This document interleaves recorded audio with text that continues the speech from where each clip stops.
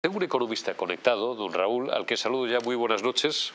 Buenas noches, buenas noches a todos. Raúl, muchísimas gracias y también por tu paciencia, por si que llevabas ahí unos minutos ya, ya esperando. Yo ya no voy a decir absolutamente nada más porque el, el economista no eres tú, que eres el que sabes, por, por buscar un titular, que esto sí que es muy de los periodistas, se acabó, se acabó el cachondeo, se acabó la barra libre, o, o así lo interpreto yo, tú me dirás, se acabó la barra libre del gastar y darle patadas a la lata y el que venga detrás, los hijos, los nietos y las futuras generaciones que, que arreen. O, ¿cuál es la traducción concreta de esta noticia que hemos conocido hoy, Raúl?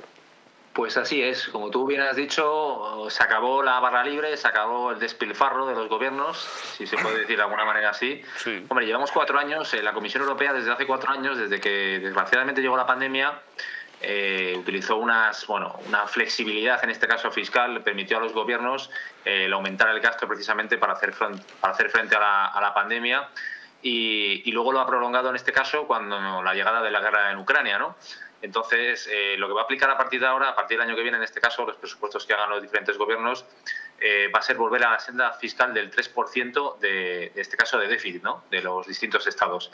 Eh, por otro lado, comentabas tú lo de la deuda, que, que, eso ya es otra película, ¿no? Porque, aunque sí que es verdad que la regla fiscal dice que es el 60%, ahora mismo muchísimos países incumplen esa, esa norma, entre ellos España, que la tenemos casi en el doble, en el, casi en el 120%, o sea, una auténtica barbaridad y eh, con la posibilidad o no de que pueda sancionar en este caso la Comisión Europea a partir de, del año que viene. No podemos olvidar que en 2023 España cerró con un déficit del 4,5%, uh -huh. o sea, es decir, un punto y medio por encima de lo que fija Bruselas, y por lo tanto el Gobierno cuando eh, haga los presupuestos allá por otoño de cara al próximo año, pues tendrá que recortar al menos entre 15 y 20 mil millones de euros teniendo en cuenta el gasto del, del año pasado, ¿no? Eh, mirando las cuentas, el gobierno de Pedro Sánchez ha gastado más o menos durante la, el último año, con el, desde que llegó la guerra a Ucrania, 45.000 millones de, de, euros en, en ayudas, uh -huh. en recortes, en recortes, vamos, quiero decir, en, no en recortes de, de, gasto, que hubiera sido eh, también lo suyo, sino en recortes de, del IVA, por ejemplo, o las ayudas, por ejemplo, que se dio en este caso a, a las gasolinas para reducir el, el, el, el precio de las mismas, de los carburantes. Entonces, eh, tenemos un problema porque, sobre todo, además, teniendo en cuenta que es, una, es un año electoral. O sea, yo tengo muchas dudas claro. de que el, el, gobierno, en este caso, vaya a aplicar la tijera.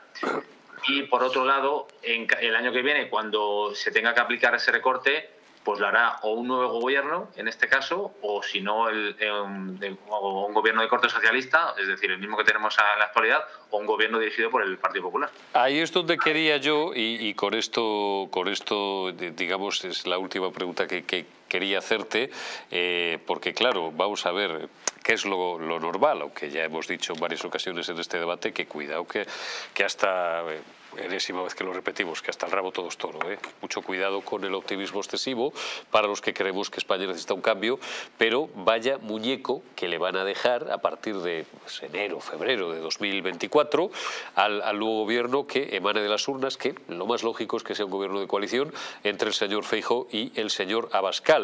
Y esto lo enlazo con una cosa que acabas de decir. Claro, es que primero no van a recortar porque es año electoral, qué demonios, si tienen una posibilidad entre 10 o dos o las que sean de volver a, a, revalidar, van a poner toda la carne en el asador. Y luego es que técnicamente, y ahora se lo estoy preguntando ya al, al economista, al, al, profesional, al técnico, es fastidiado, porque es que eh, el sesenta y tantos por ciento, dos terceras partes del presupuesto, o, o, tú me corregirás, incluso es un porcentaje superior, son pues lo que los economistas llamáis los estabilizadores automáticos, pensiones, 9.200.000, subsidios de desempleo. Es fastidiado eh, recortar.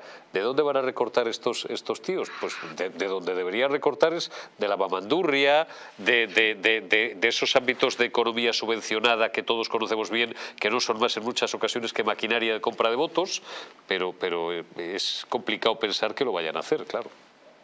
Claro, a ver, eh, la Autoridad Fiscal Independiente, eh, la IREF, eh, fija más o menos que hay un gasto improductivo de las administraciones de aproximadamente unos 60.000 millones. Claro.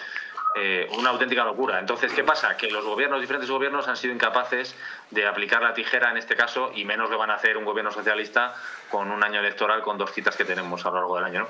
Entonces, eh, ¿se podría recortar el gasto improductivo? Perfectamente. Pero ¿qué pasa? Que tenemos un gigante, una administración gigante eh, los, gobiernos, en este caso el gobierno socialista, no quiere aplicar una serie de recortes.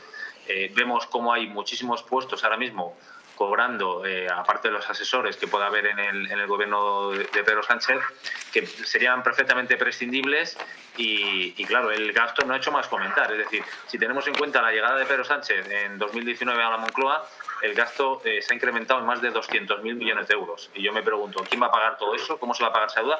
Sobre todo teniendo en cuenta, además, que están subiendo los tipos de interés. Es decir, ya no estamos en la senda de hace un año cuando el tipo de interés estaba en el 0% y el Euribor estaba negativo sino que ya tenemos el Euribor casi tocando el 4%, casi lo ha tocado hoy, que está en el 3,90, y eh, el Banco Central Europeo ha dicho además que va a seguir subiendo los tipos, igual que la Reserva Federal Americana. Es decir, nos vamos a ir a tipos probablemente el 4%, y no es lo mismo pagar una deuda al 0% o incluso con tasas negativas que pagada al 4%.